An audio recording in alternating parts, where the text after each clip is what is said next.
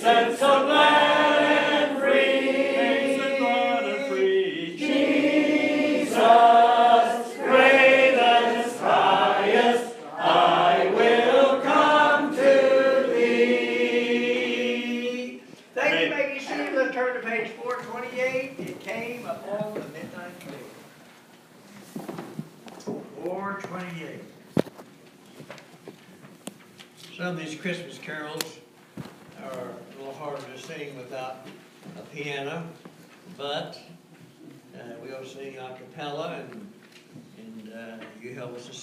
song. I, I love this song. and every time I learned it.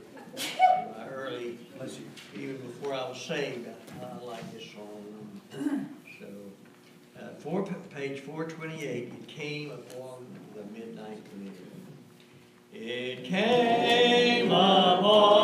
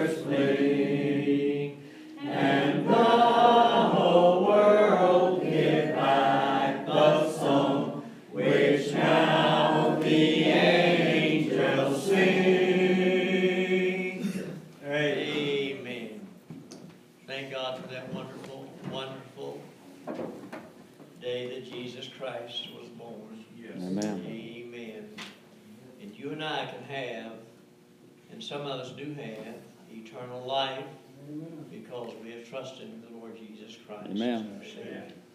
Amen. One of the greatest, if not the greatest, events of all time was the birth of our Lord and Savior. Amen. Amen. Jesus Christ. Amen. I love this time of year, don't you? Amen. Praise God. Amen.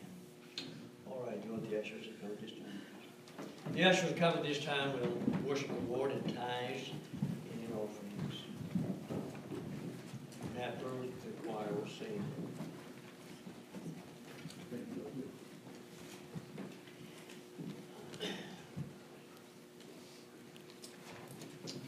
Brother Jay, would you ask the Lord's blessing upon this time?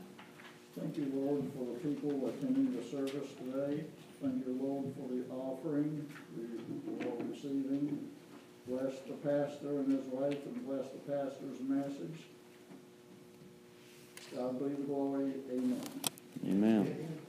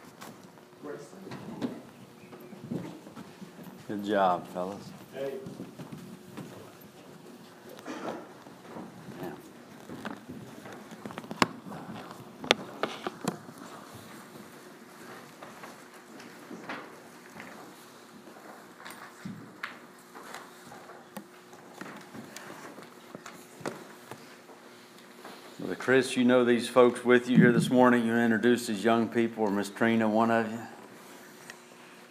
We have Palin here with us, and we have Damien, they're our neighbors' children, and they Amen. wanted to to us, so we brought them with us. Amen. Good. Wonderful. Wonderful. And we sure are glad you folks come, both of you. Glad to have you here this morning. Amen. And uh, hope you can come back again.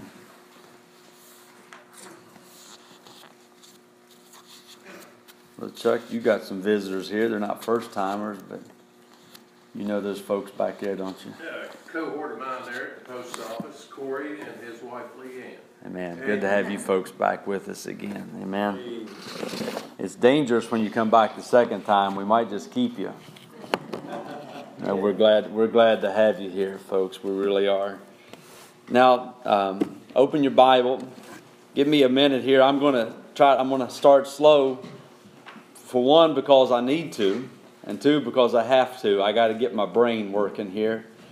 I came up here yesterday and uh, I left a house full of sick girls and came up here and talked to Brother Nolan and thought that'd make me better, but it only made me worse. I, as soon as I said goodbye to him, as soon as I left and went off the hill, I had several stops to make and I started feeling that stuff coming on, you know. And I told him I, I told him he should be all right. I don't think we hugged and kissed too much while we were up here talking. So we should be he should be fine. I pray that he is. I pray that nobody gets sick. I don't I mean you get and I know some of you already are and have been, but uh, anyway, that I, I felt confident that the Lord would deliver me before midnight last night, and pretty close to that, I, I came through the other side of, of life. And uh, but anyway, uh, so I'm just trying to get my head cleared up here.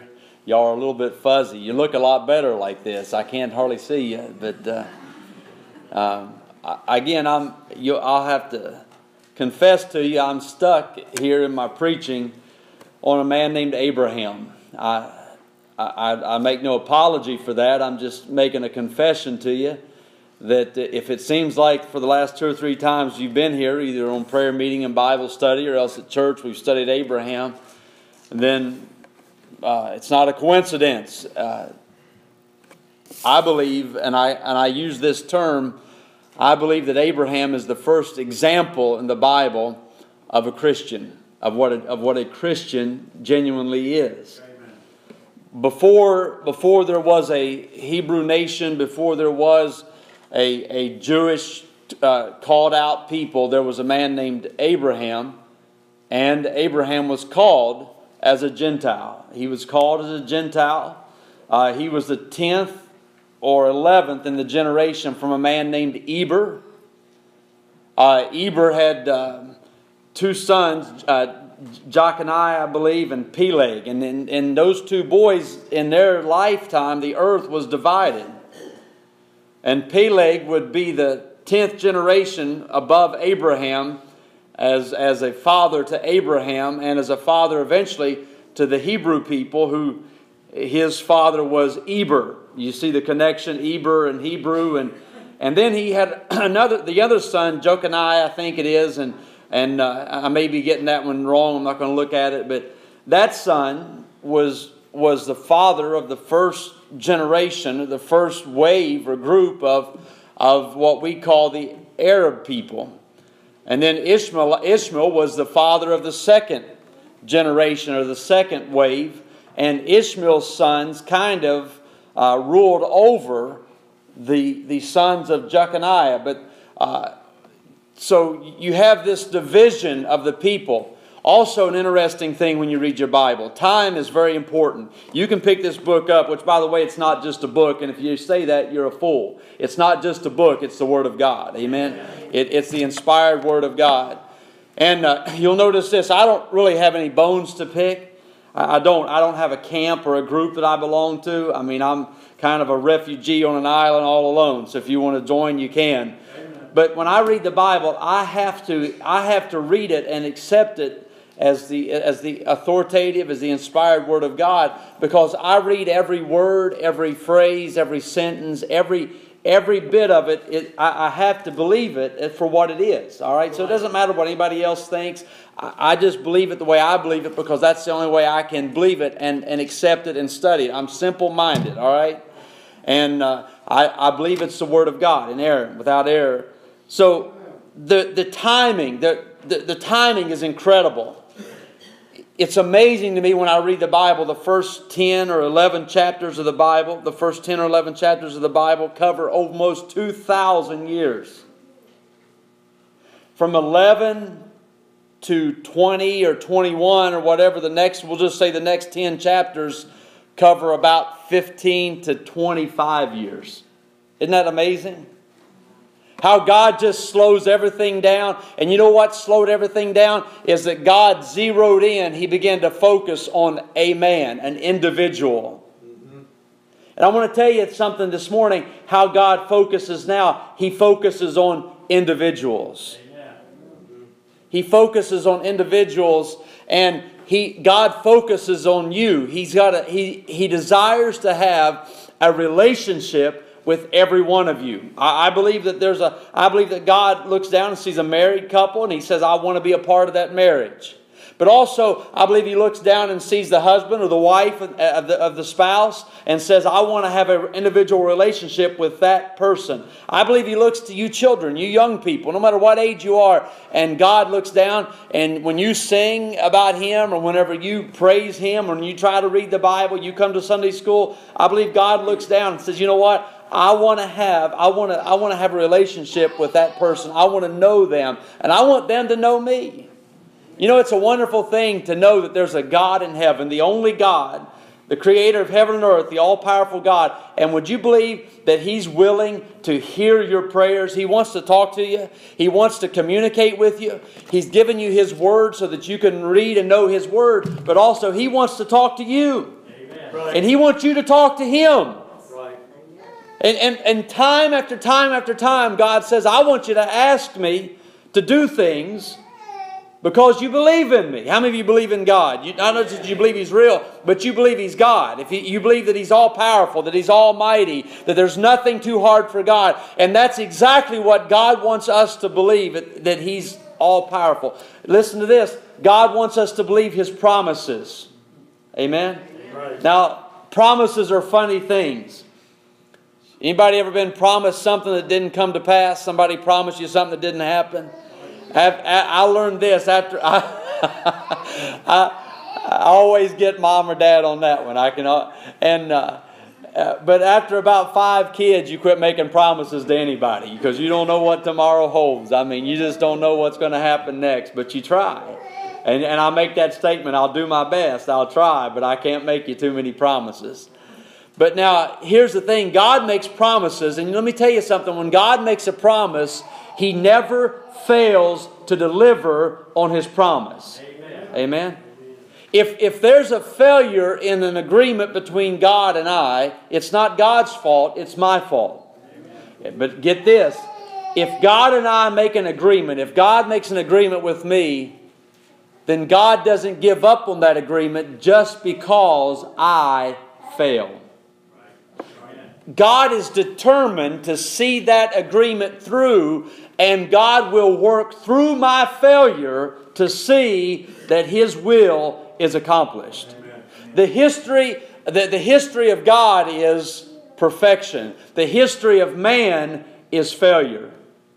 So listen to me this morning. Don't be surprised. Don't be shocked when you fail. And don't be surprised when someone around you fail. When someone you love or you care about, don't be shocked.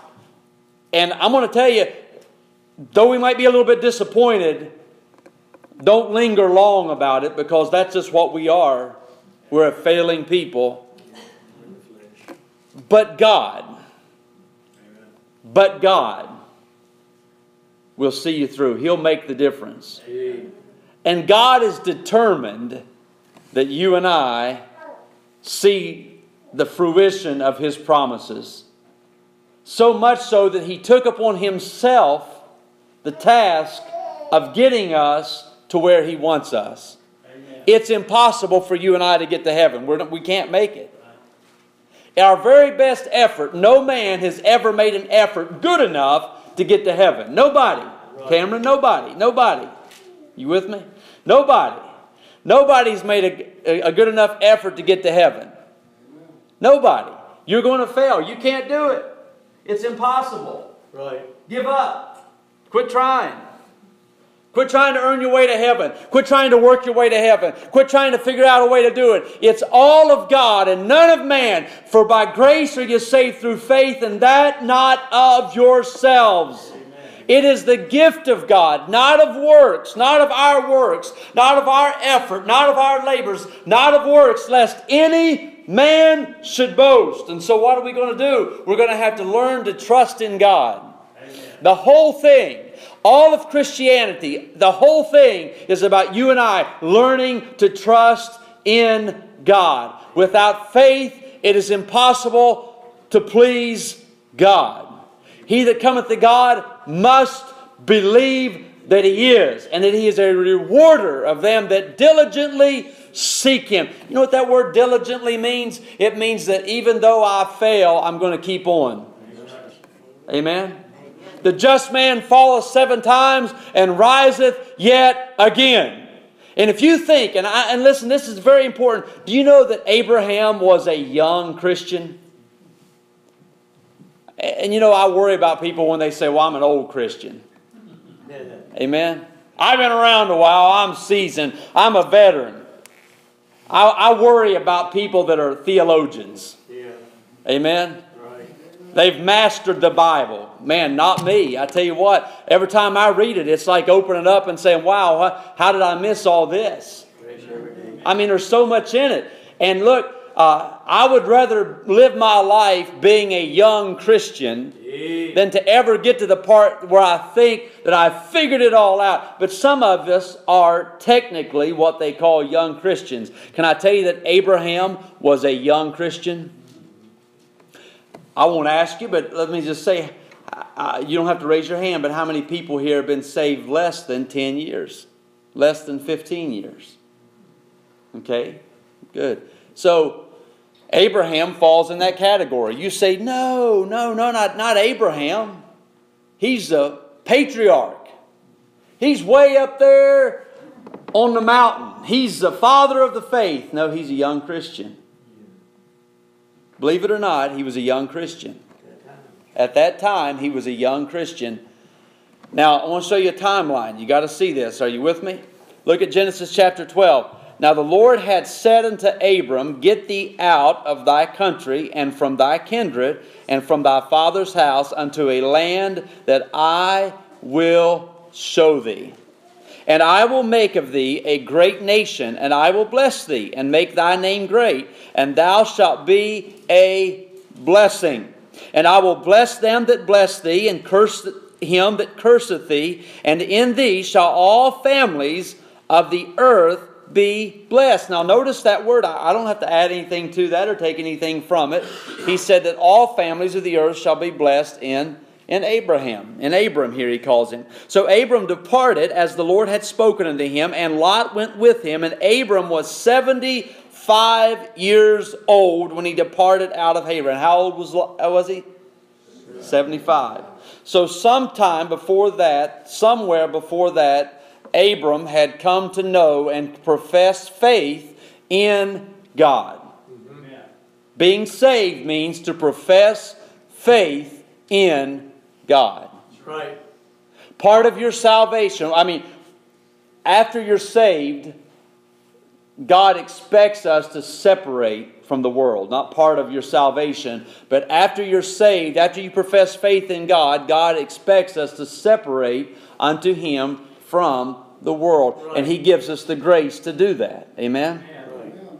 He said, Come out from among them and be ye separate unto me, saith the Lord God.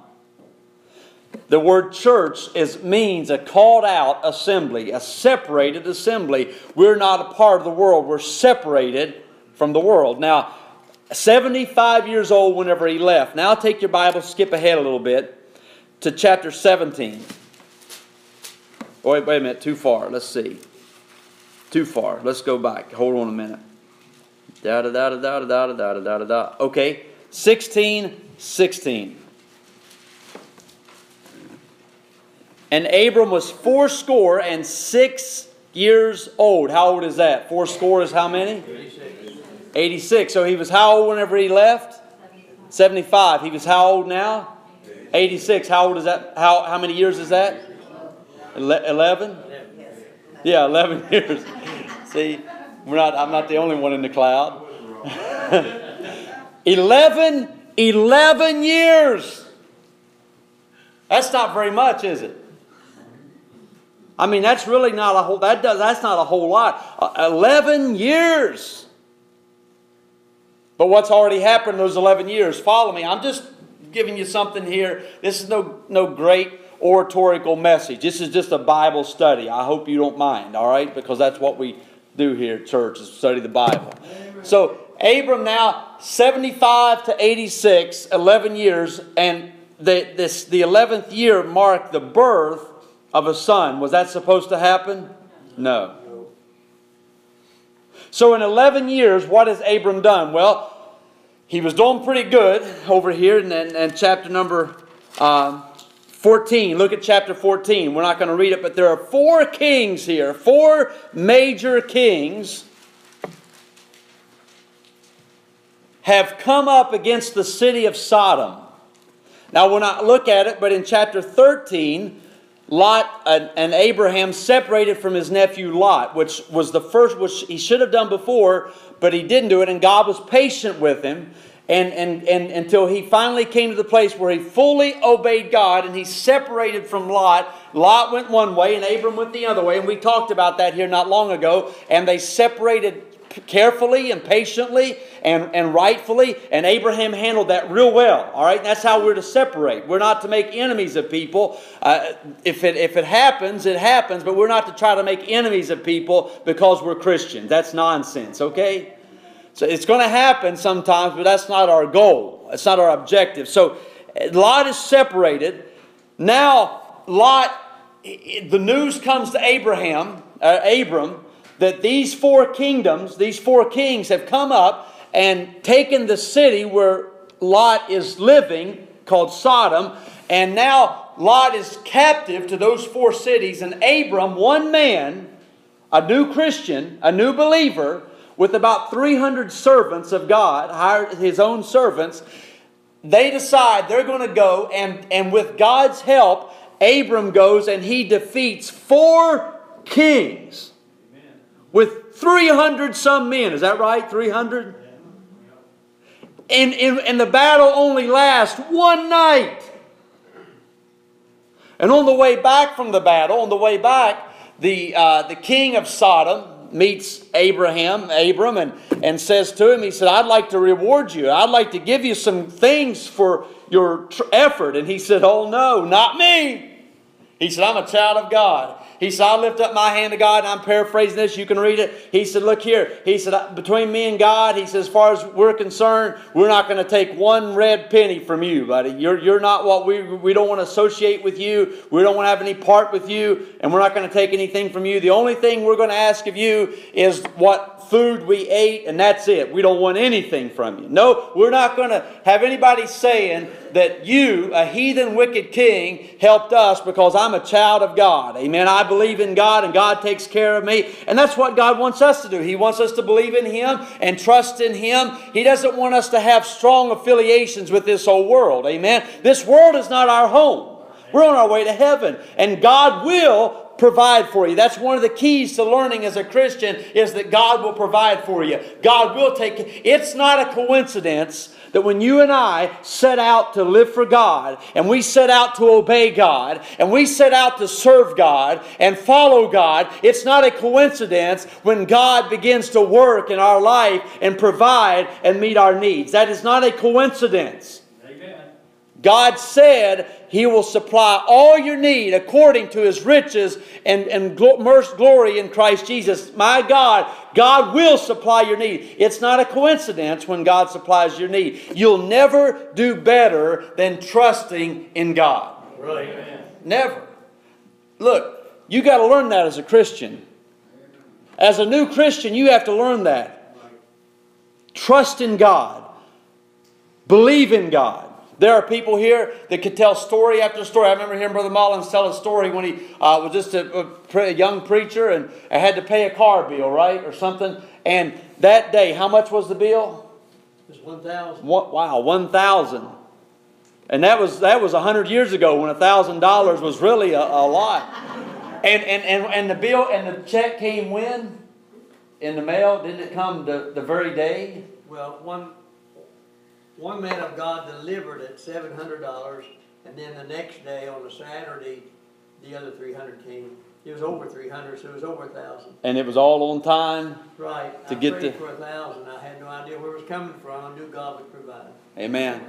Every every bit of it. I, I was telling Brother Nolan here yesterday when Luke was sick. Listen to this. I don't know how many trips, probably 15, 20 trips we made to Morgantown. Can I tell you something?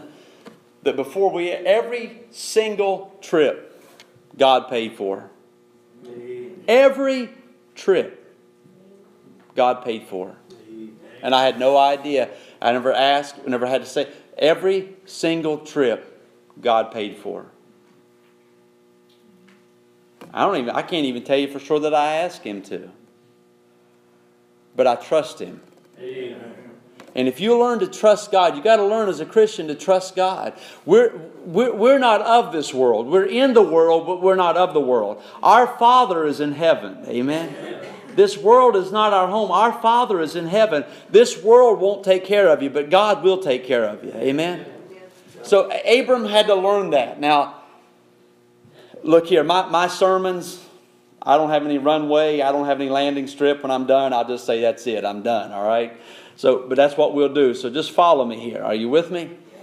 So Abram was learning to trust God. God did a great thing. Look at your Bible here again. Uh, let's, let's look at what he said to the king of Sodom. Look at chapter 14. I love how he said it. Look at verse number 20.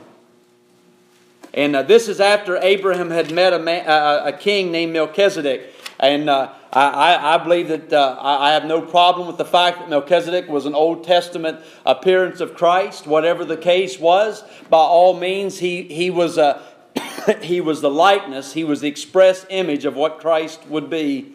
And Melchizedek was a representative of heaven. Amen? No doubt. When Abram saw him, let's just look at it. You want to? Let's, let's read it. Let's look at verse chapter 14 and verse number 17. And the king of Sodom went out to meet him after his return from the slaughter of Chedorlaomer, and the kings that were with him at the valley of Shaveh, which is the king's dale, and Melchizedek, king of Salem, which is king of peace, brought forth bread and wine. Amen. God knows your need. I mean, God knows how to provide for you. He knows when you have a need, and God will provide for you. And he was the priest of the Most High God. Amen. Who did Abraham serve? Abram served the Most High God.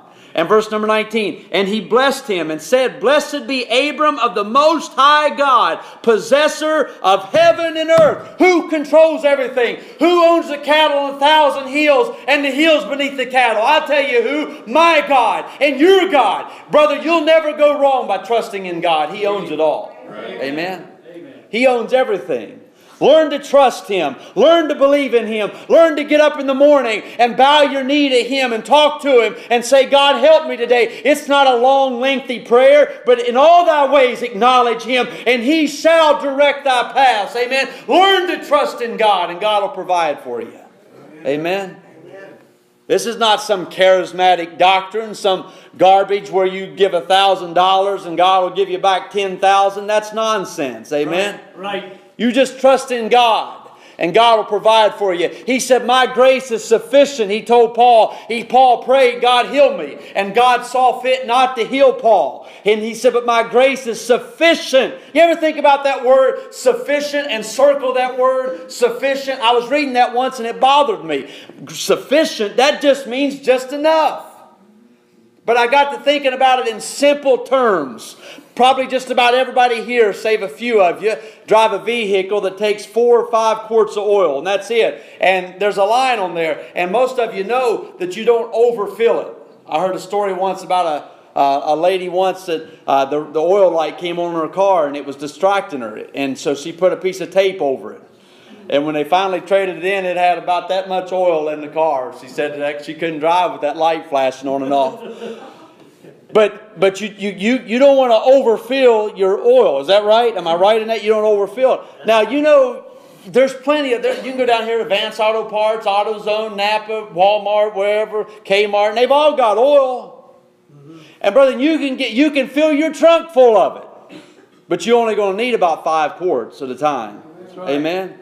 And I'm going to tell you one thing God's grace is sufficient. He gives you just what you need when you need it. Amen? Amen. All right? He wants you to trust Him.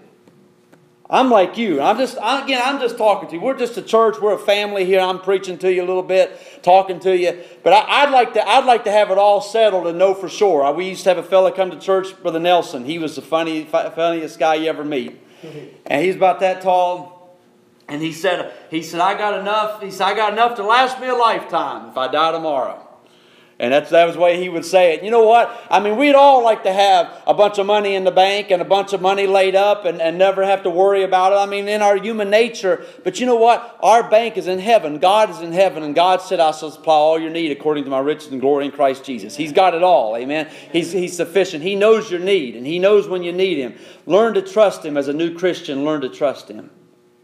Abram did that. The Bible says here, Blessed be the Most High God, which hath delivered thine enemies into thy hand. And he gave him tithes of all. Who did? Abram did. He fell off his.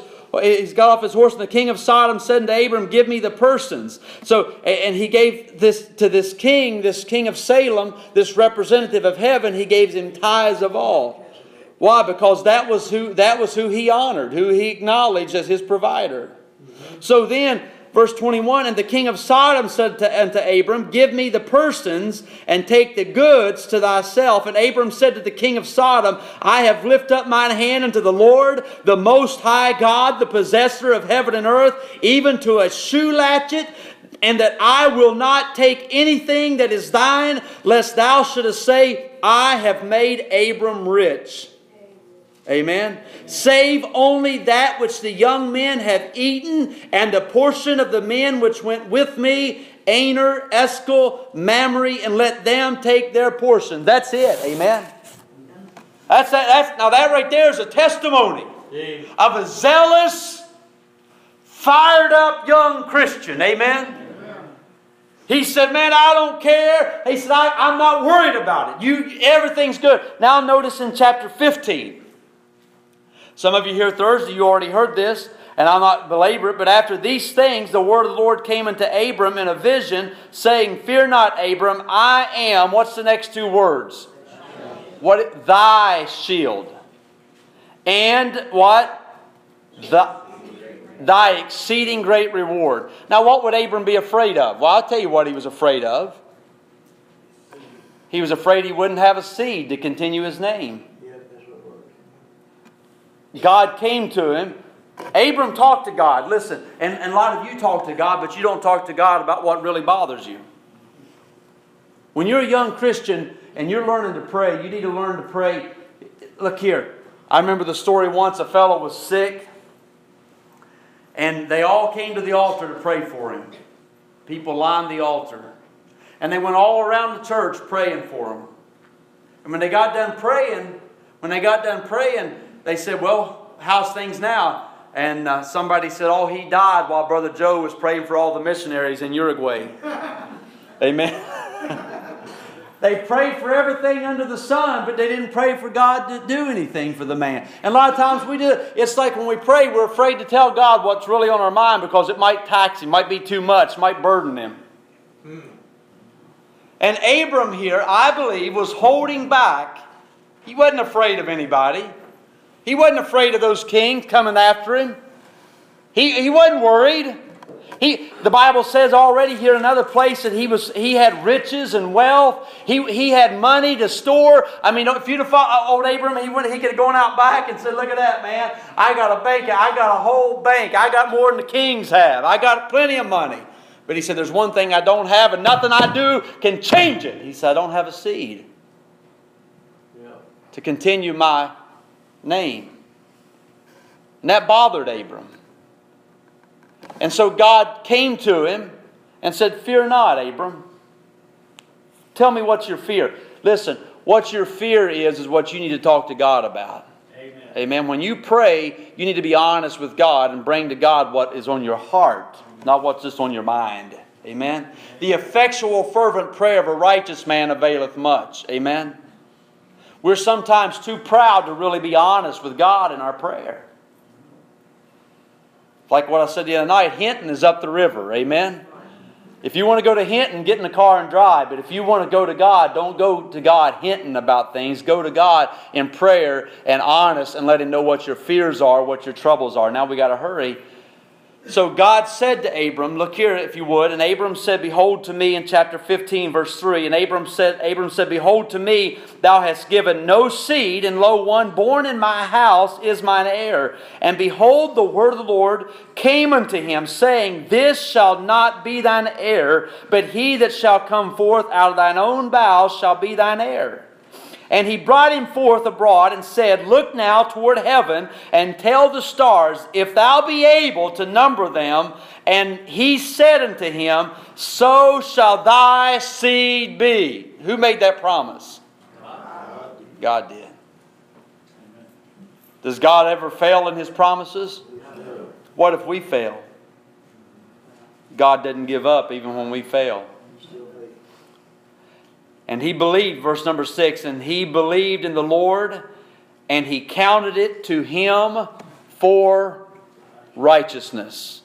Amen? Amen. Now, if Abram wasn't saved before, he's, that's a testimony right there. I believe he already was. Amen? Amen. But I believe that's a public profession of his faith in Christ. Amen? A lot of people are saved, but they never make a public profession. If you're a young Christian, you need to make a public profession of your faith in Jesus Christ. Amen? Acknowledge Him publicly. Don't just live your life and when you die, have somebody stand up and try to explain why you're in heaven. Amen? Live your life in so such a way that everybody that knows you knows beyond any shadow of a doubt because they've heard it and they've seen you bear witness and testify the fact that without a doubt you believe in God. You trust in God. Amen. Let your testimony shine. Amen. Let it be clear to others. Don't ever be ashamed of the Lord Jesus. Amen. Let everybody know you're saved. Don't, don't let them don't let them wonder. Don't let them, you know, boy, I hope old Joe gets to heaven. Amen. Hey, you, you, you let them know you're saved. We don't need you don't need to be an undercover agent for God. Amen. And so Abram professed it here publicly. He said, I believe it. I believe it. And it was counted to him for righteousness. Now, in chapter 16, an unusual thing happened. Now, follow me. In chapter 16, verse 1, now Sarah, Abram's wife, bare him no children, and she had an handmaid, an Egyptian, whose name was Hagar. And Sarah said unto Abram, Behold, now the Lord hath restrained me from bearing. Now, that word restrain means that God has decided that, I, that this isn't going to happen. Now, for one, Sarah didn't know for sure that God had made that decision. She was presumptuous. Listen to me, uh, young Christian, and that, by the way, that's every Christian. One day with the Lord is as a thousand years, and a thousand years is one day. You say, Well, I prayed about that and it just didn't happen. What, in five days? Sometimes you have to learn to wait on God. Amen. Wait on God. You know why? Because you know what's happened when you're praying about something and it ain't happening, you what you're doing? You're developing a closer relationship with God. But when you pray, you can't be you can't be getting angry and upset and bitter with God because he's not doing it. And then you start thinking, well, God's just against me. He's not going to do it. He doesn't, he's not interested. He doesn't care. Oh, he does care. That's the devil's lie. Amen. And there's no record in here, no, there's no account in here where the devil came to Sarah and caused her to doubt. But I believe that if, if you want to throw that in there or whatever, hey, the devil will try to do that. He'll, he'll try to cause you to doubt. And she came to a conclusion. She said, that God has restrained me from bearing. Let me tell you something. It was a custom in the land that if the wife was in the situation that Sarah was in and she had a handmaid work for her, it was an acceptable custom in the land that that handmaid could bear children for her also. But it was not, it was not a custom with God. Amen? Amen. I don't care how wicked the world becomes, we're not the world's children, we're God's children. Amen? And Sarah began to consider this. On one hand, they were praying and trusting God, and on the other hand, she started looking and seeing how the custom of the days was and the world was. And after a while, she came to the conclusion in her heart that it would be okay. And I would, it seems to me like it was longer to convince Sarah than it was Abram. But Sarah came to the conclusion that this is an acceptable custom, so we'll do this. I'll consent to that since God's not doing what I'm asking him to do. And so Abram said, okay, and he agreed with her that, and Hagar, now she is expecting, and she is supposed to be Sarah's servant. And the Bible says that once, once Hagar becomes expecting as a mother, she begins to disregard Sarah, which is human nature. She, and, and, her, and what she said, she lightly esteemed her. So uh, Sarah starts telling her what to do, and she says, Wait a minute here. You're not going to tell me what to do anymore. So now there's a rift here. Has Abram made his life better by, by disobeying God? No. No. Listen to me. Young Christian, obey God. To obey is better than sacrifice. The key to the Christian life is obeying God. I don't care how good an idea it seems like. I don't care how, how, how convinced. If everybody's doing it, and you know, isn't it funny that we allow children, we don't allow our kids to say that? You know, kids, I don't know if y'all hear this or not. I mean, we're, but, but growing up, you know, they'd say, well, everybody's doing it. And, you, and, and my parents would say, well, if everybody jumped off a bridge, would you? And I'd say, no. I mean, but nobody, it ain't, I'm not asking to jump off the bridge. I mean, you know what I mean? But we think everybody's doing it, so we'll do it. It's the custom of the land. No, not because everybody's doing it. You don't do it. All right? So they did. Did things get better for Abram or did they get worse? They got worse. Got worse. Now Abram has a real problem. About how many years transpired between he, when he left and Ishmael was born? 11 years. 11 years. There's fighting in his home. Listen to this. There's strife in his home. There's fighting in his home.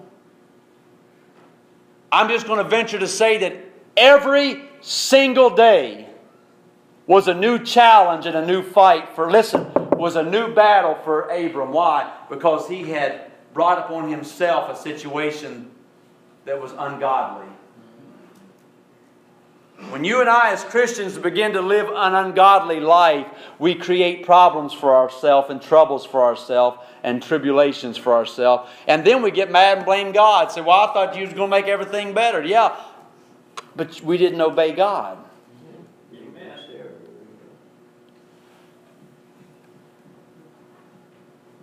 An unusual thing happened. How many years before Ishmael was born? 11. Chapter 15, verse number 1. After these things, and I believe that means immediately after, after these things, the word of the Lord came unto Abram in a vision, saying, Fear not, Abram, I am thy shield and thy exceeding great reward. Now, chapter 17.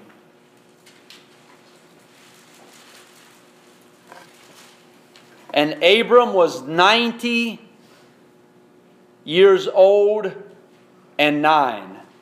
How many is that? 99. How many years after 86 is that? 13. How many years between the time he left and the time Ishmael was born? 11.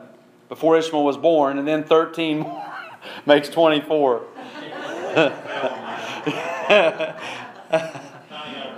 How many years total? 24. 11 before Ishmael was born. Was everything pretty good before Ishmael was born? After Ishmael was born, not only were things bad, but I'm going to tell you what I believe, and I believe the Bible. Y'all believe the Bible? I believe that after Ishmael was born, there was about 13 years of Abram's life where not only did he have a hard time, he didn't have anything from God.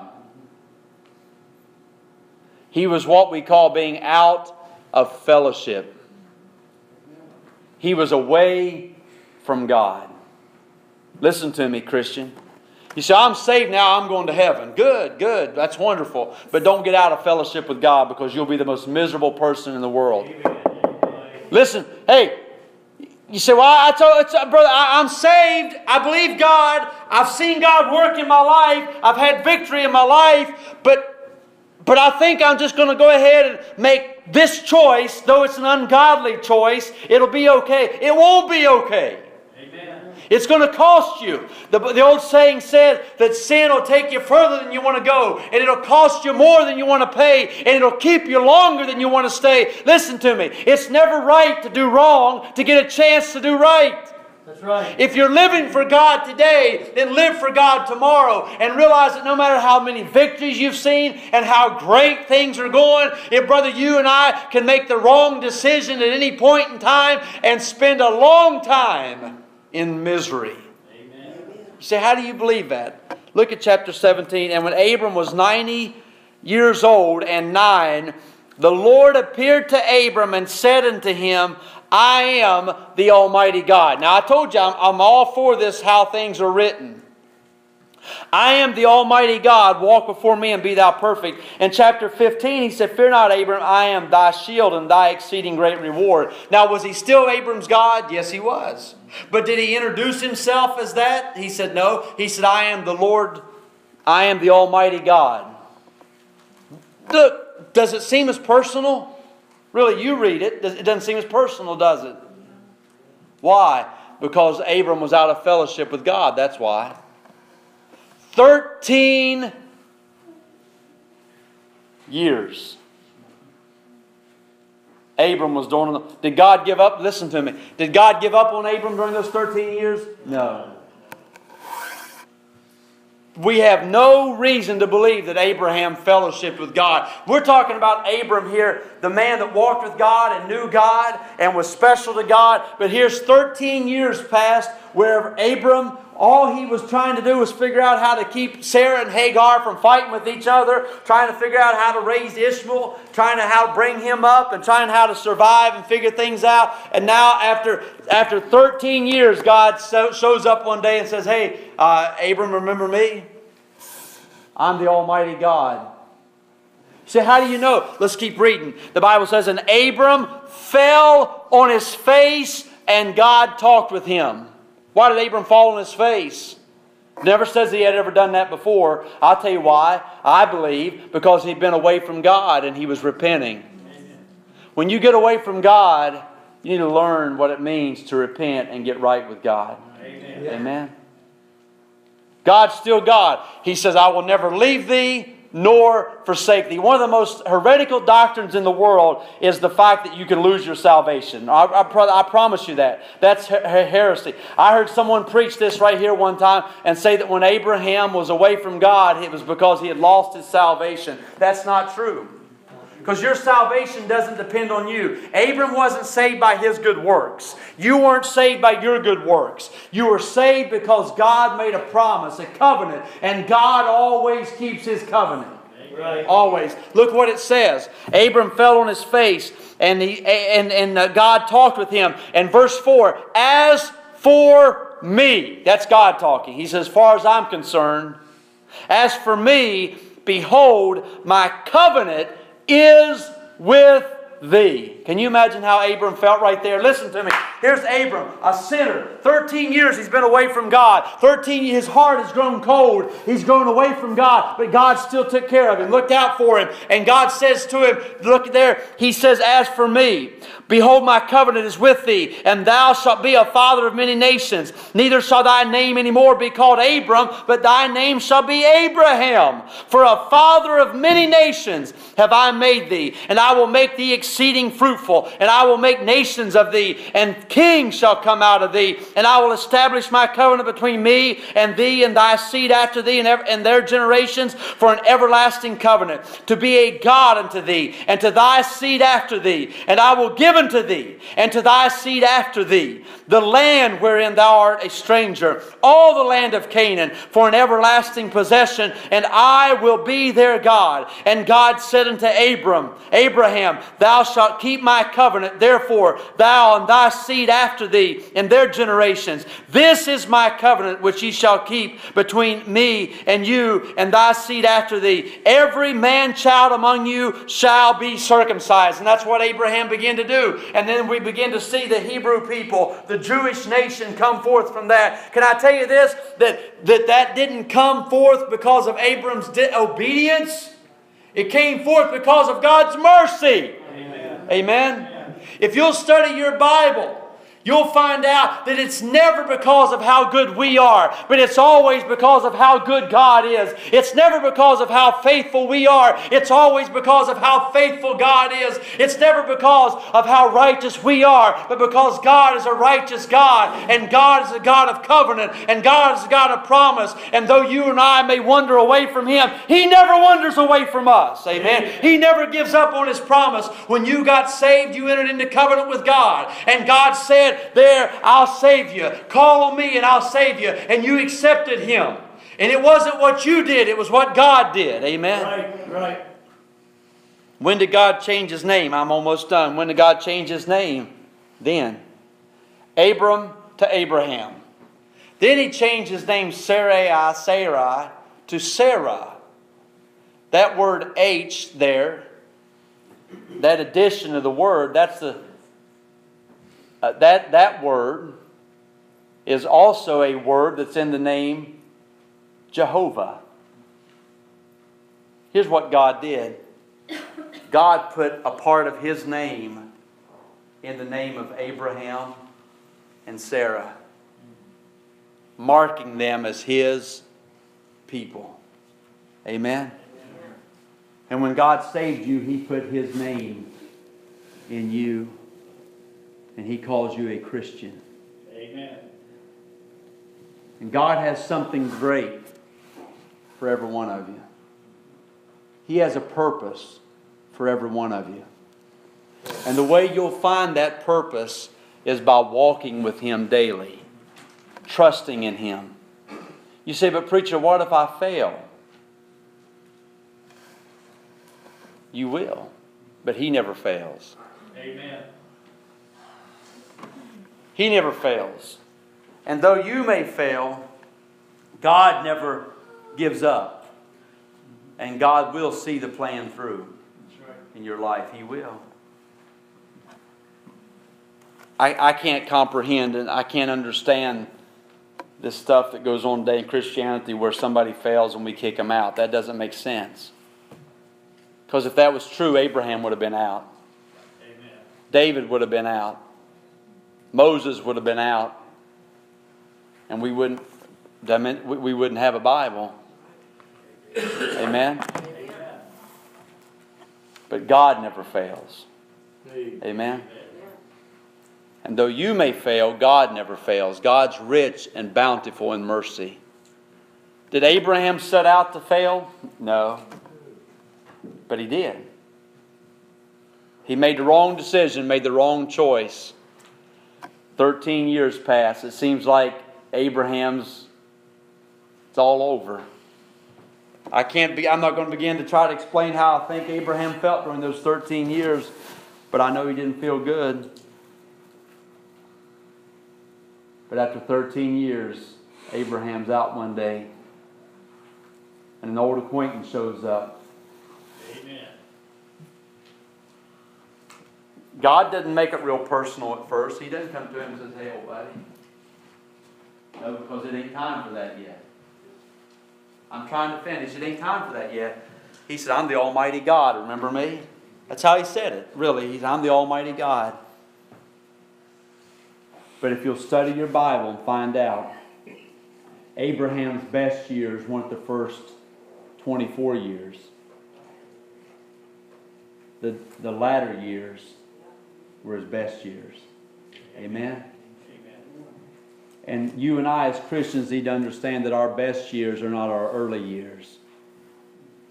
Our best years are our latter years.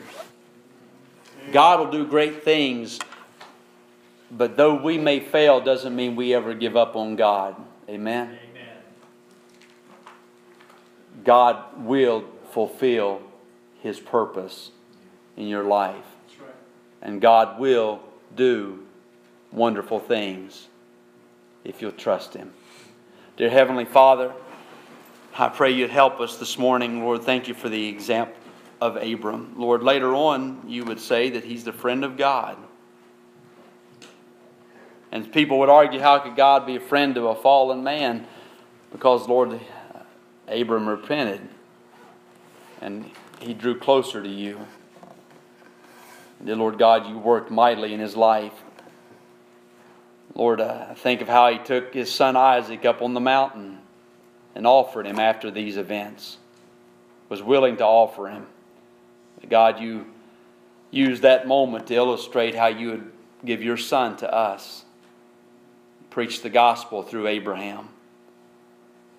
Lord, thank you for that example, dear Lord God. Help us, Father, whether young Christians or old Christians, seasoned, veteran, whatever. Lord, help us to realize it's all about our relationship with you and not to let anything come between that. God, help us to live for you and walk with you daily in Jesus' name. Would you stand this morning? And, and if you're a child of God and you want to have a relationship with God and walk closer to Him, the altar's open. Would you just come on and say, you know, that's what I want in my life. I want to have a closer walk with Him. I, there's no music, so if you want to come, you come. Young or old. Uh, you, you want to know His book when you read it. You want God to speak to you. But then let me ask this question. Maybe you're here and you're not, you've never been saved before. You've never asked Jesus to save you, but you would like to know for sure heaven is your home. And you'd like for somebody to take a moment and pray with you and talk to you about that. Is there anybody here like that this morning? You just raise your hand and say, Preacher, pray for me. I'm not, I'm not a Christian and I need to get saved. The Lord's been speaking to my heart about it, and I need to get it settled in my heart. I want to be a Christian. I want to be saved. I want to know for sure heaven is my home. Anybody at all this morning would raise your hand and say, Pray for me. Amen. Amen. Folks are praying. If you want to join them, you sure can.